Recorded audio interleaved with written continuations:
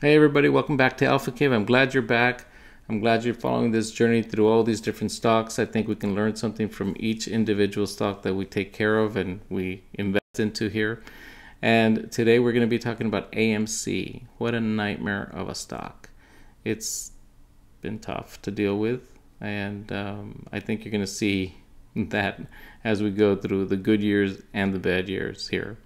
I'm not a financial consultant. However, this is what I do with these stocks, and hopefully, it can be educational and you can learn something from it. A couple of things to start off with here is 2021 was about the time that I actually just started to sell puts. I believe on Robinhood, you were able to sell puts, sell calls at that time already. So that's why I was interested in doing this. Uh, I don't think that they had the tabs to roll things out as easy as they do now. I believe that started in 2022, and when I started using that in 2022, that made life a lot easier.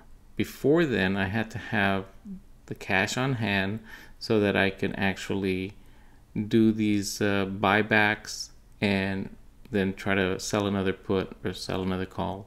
And that's the way I was doing those things at that time. And that put a little strain on me and uh, it made it difficult. And as you'll see, I may have lost some money because of that here. So let's go ahead and start this with the good years. January 4th, 2021 was the first time I actually sold a put on AMC. The, stock price was very, very low. It was like a $2 put, and it was actually a good stock to learn with. So I figured, okay, this is a perfect stock to learn with. I'm going to sell here at these low prices get better at it before I start moving on to other stocks. And I also bought 100 shares of AMC at $2.05 at that time. So um, I I did good, and then I, I turned around right, right away and I sold a call at 250 So somebody could take those shares at $2.50. Perfect. Well, sometime in March, this stock became a meme stock the price got crazy and it went way up. In fact, I remember going to sleep one day, the price was normal. The next uh, day in the morning, the price was $25. I was like, oh my God, I have a call on these and I cannot do anything about it. So that made my life miserable there for a while. And I figured I may lose these shares at $2.50. And sure enough, March 19th came around, my shares were called off and they went to $2.50. I think at that time the share price was probably like $75 per share. So I did lose out on a little extra cash I could have made, which could have made all the difference. But we moved on and let me tell you about 2021 now. So in 2021, we actually sold 87 puts. 87 puts is quite a bit. Um, and let me show you each month more or less what we made. I'll run it through the screen for you. As you can see, January through April, we actually just started up. Uh, was about $1,100, $1,200 there that we made. And those few months there, uh, I got my feet wet a little bit, and then I started going from there. From there, in the next four months, is when we started making a lot more profit. 2000 in May, June was 6500, July 5500, and August 6600. September continued as well, 6600. October and November were low, and then December was 2703. So total for 2021, we made $32,055. That wasn't bad for only actually purchasing 100 shares at one time and not making that whole profit that I could have made by selling those shares on their own or rolling out the call, which I could not do at that time. Um, so 32,000 was fantastic for year one. So that gave me a lot of confidence moving into 2022. So in 2022, we sold 16 puts. 11 of those puts were actually rolling out puts so that we can decrease the price that we are going to purchase shares at. So that's all we did in 2022. Didn't buy any shares at all. The profit that year was almost $5,000. So we're there at $37,000 for the first two years. Still, that's fantastic. That's really, really good. But then came 2023. Now, the problems really started back in August of 2022 when Ape Shares started. They put them out. That was a nightmare. Then we all had Ape Shares, and then we had puts and calls that were uh, AMC and AMC One, and it made a big mess. And uh, that was when things went downhill, actually. And I think that's why I was rolling out so many puts at that time, so that I can, if I had to purchase these shares, I was going to get them at a lower price. But 2023 did come around, and I was assigned many shares.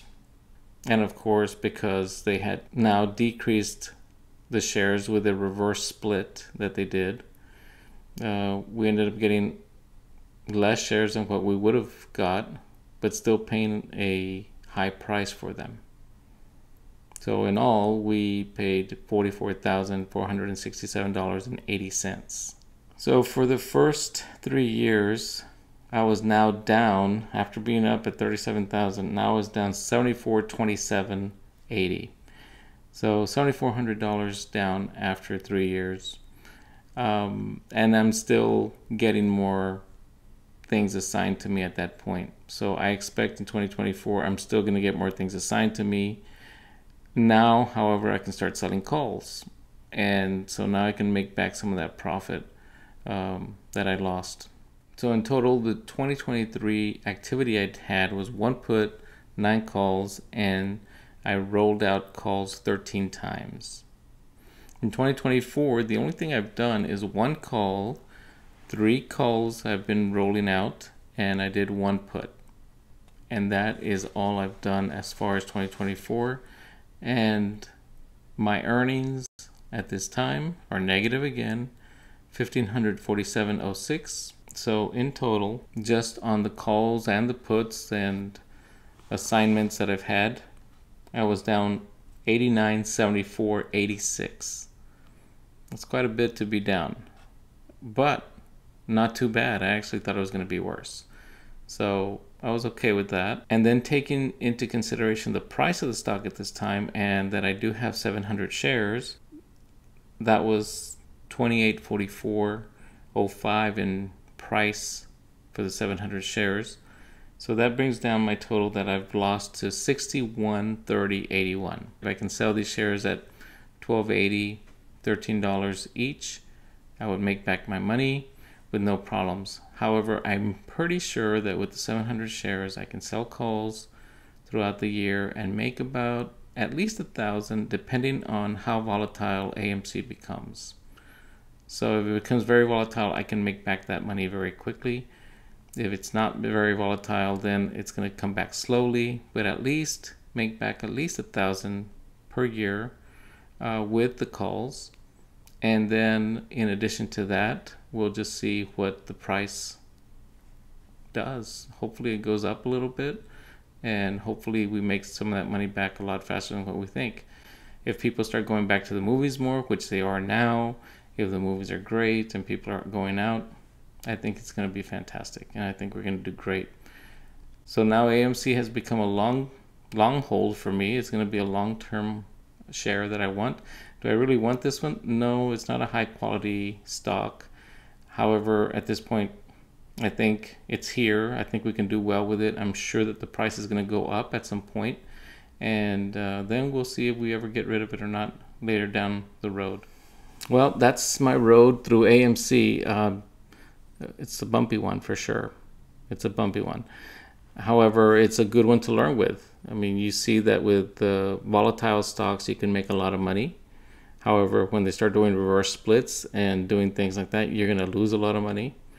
Uh, we did learn how to roll out calls, roll out puts with this stock quite a bit. And so the, the losses could have been dramatically worse, thousands and thousands worse. But we were able to kind of decrease that by just rolling out the calls, rolling out the puts, decreasing the prices that we were going to buy these stocks at, and making some profit on the way. I hope that you got something out of this video. If uh, there's any comments you want to put, write them down on the bottom and uh, let us know what you think or let me know if you were in this AMC fiasco as well and how you did. Thanks for joining us. We'll see you next time with a better stock.